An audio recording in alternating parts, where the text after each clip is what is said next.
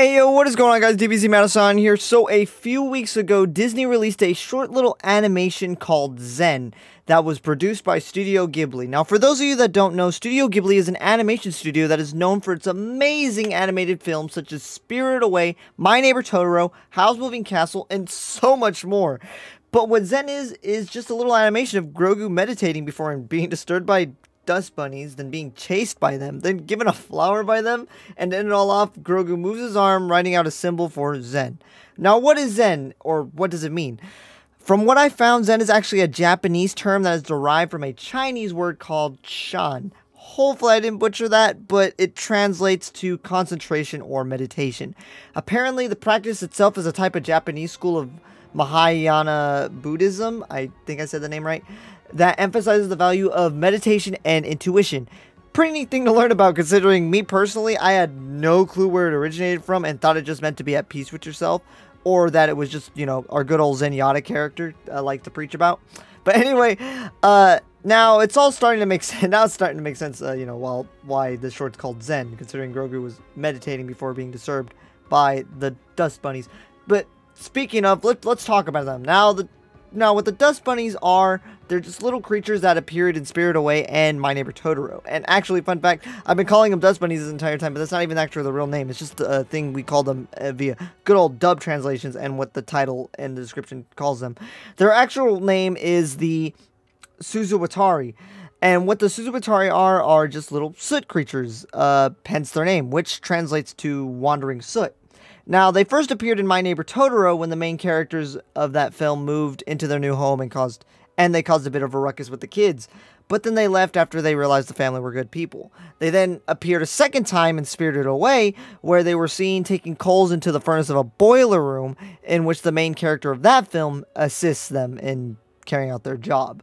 So it's pretty cool to see them here messing with Grogu, who has no clue what they are, and just like tries to mind his own business, but they end up chasing him, and he just like runs into one of them, like headbutts him and to get his attention. And then after that, when he looks at them, they give him a pink flower, which he then thanks them for and smiles as they, you know, kind of dance and cheer around him. And then this, you know, the short ends with him doing the whole Zen symbol.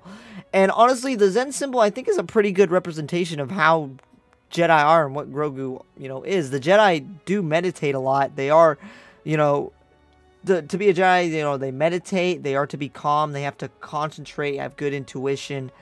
It's, you know, you know what, it's a pretty good, you know, uh, description of what the Jedi are or what they, you know, strive to be.